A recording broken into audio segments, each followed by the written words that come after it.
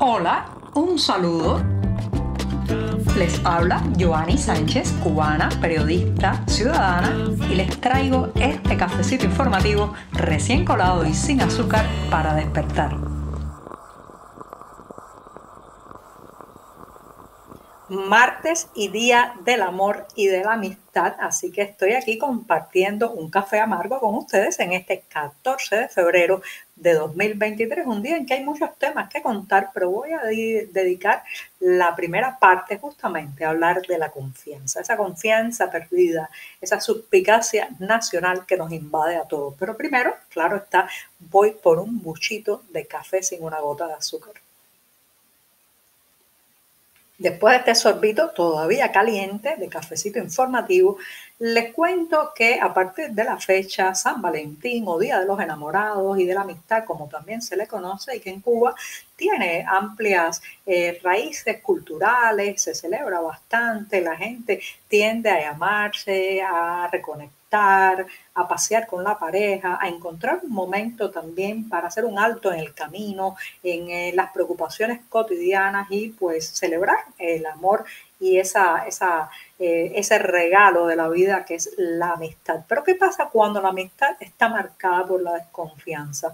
Cuando se vive bajo un sistema que nos hace temer de todos, cuidarnos de todos, mantener la coraza de la simulación, de la máscara y del oportunismo, porque no sabemos, no sabemos quién puede convertirse en el delator, en el informante, en el chivato, como se dice en buen cubano, en el que haga el informe que llegue a la mesa de la seguridad del Estado o policía política y nos arruine la vida. Señoras y señores, este, este sistema bajo el que vivimos hace décadas nos ha hecho unas personas que ponemos por delante la desconfianza, nos rodeamos de una coraza también para intentar sobrevivir en esta anomalía que es el castrismo, el sistema cubano que está basado justamente en eh, que el, ciudadano sienta temor al otro, que el, el, ciudadano no genere un clima de confianza, que esté permanentemente con el antifaz ideológico y la máscara política colocada, porque si no, pues no puede ascender laboralmente, estudiar en la universidad, incluso viajar fuera del país. Y eso va eh, lacerando muchísimo la autoestima cívica y se ve cuando los cubanos viajan fuera de la isla, cómo ponen por delante siempre el temor al otro. El otro es el enemigo, el otro es el, que posiblemente nos hunda, el que termine eh, pues cortándonos y cercenándonos el camino. Y esa desconfianza, eliminarla, ponerle punto final, cuesta años y años. Conozco amigos que han emigrado hace décadas y todavía tienen ese, ese temor al otro que nos inocularon desde pequeños en las escuelas, en los entramados eh, eh, sociales cubanos, en el adoctrinamiento, en también pues eh, todo lo que hemos tenido que vivir en Cuba. Así que por un momento, por hoy, dejemos un lado la desconfianza y creamos también el otro. Ese ha sido un elemento que ha distanciado y separado mucho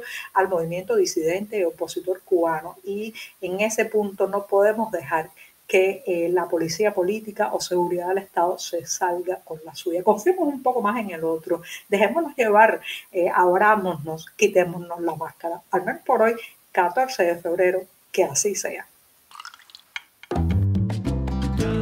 Si eres de los que te gusta estar bien informado, síguenos en 14ymedio.com. También estamos en Facebook, Twitter, Instagram y en tu WhatsApp con este cafecito informativo.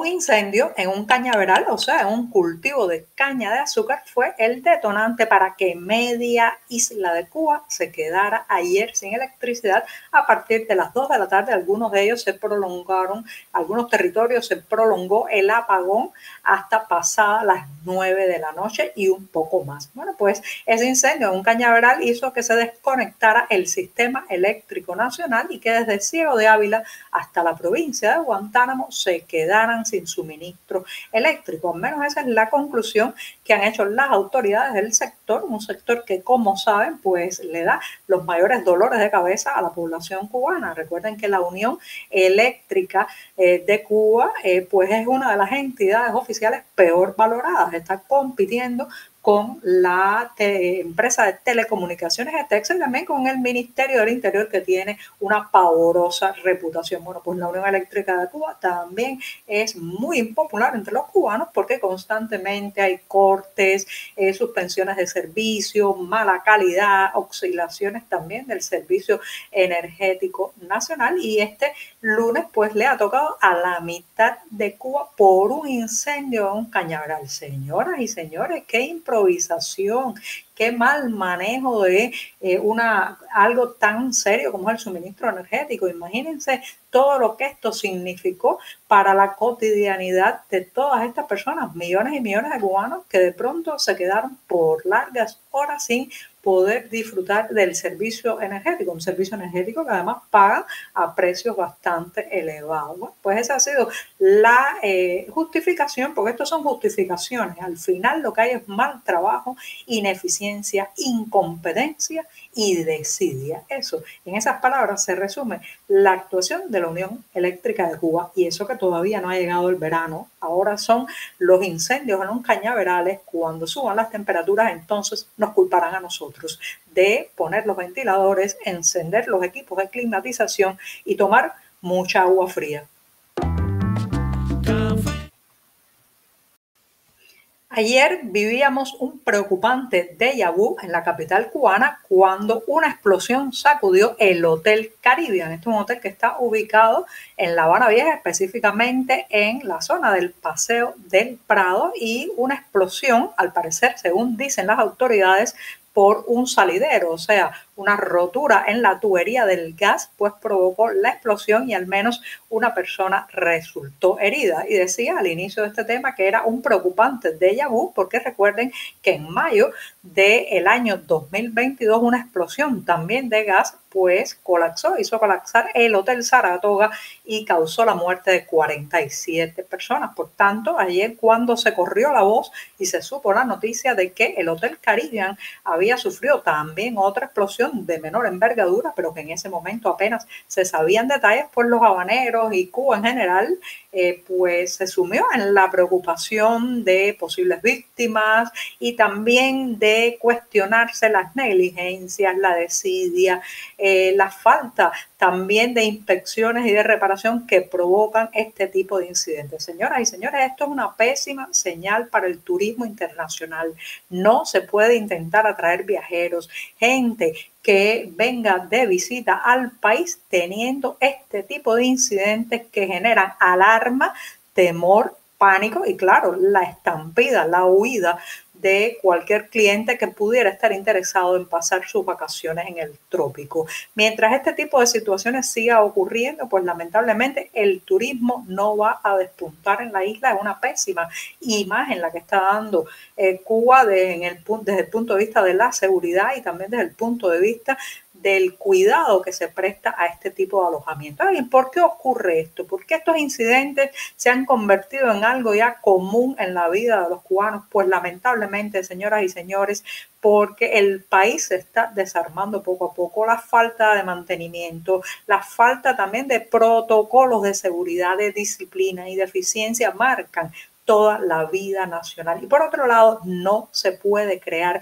como he, como he insistido tantas veces en este programa, no se puede crear una burbuja de prosperidad, funcionamiento eficiencia en un país que es desastroso desde todo punto de vista. Por mucho que se intente maquillar estos alojamientos turísticos, crear una pseudo realidad, una especie de cosmogonía diferente a lo que ocurre de la puerta hacia afuera del hotel, al final la realidad termina colándose, sea en forma de una vieja tubería de gas que estalla, explota y hiere a una persona en este caso, o también en otro tipo de problemas que hacen peligrar la integridad física de los turistas y de los empleados también de los hoteles.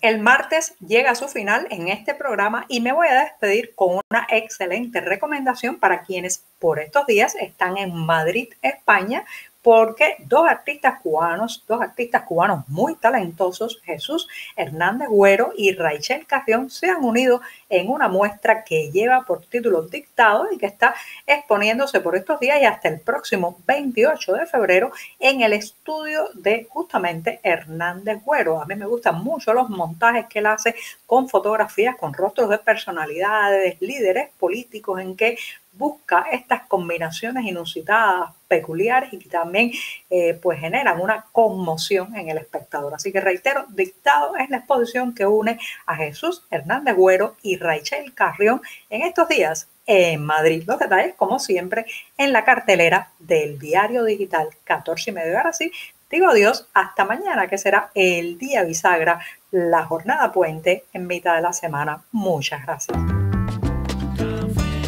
Por hoy es todo. Te espero mañana a la misma hora. Síguenos en 14medio.com. También estamos en Facebook, Twitter, Instagram y en tu WhatsApp. No olvides, claro está, compartir nuestro cafecito informativo con tus amigos.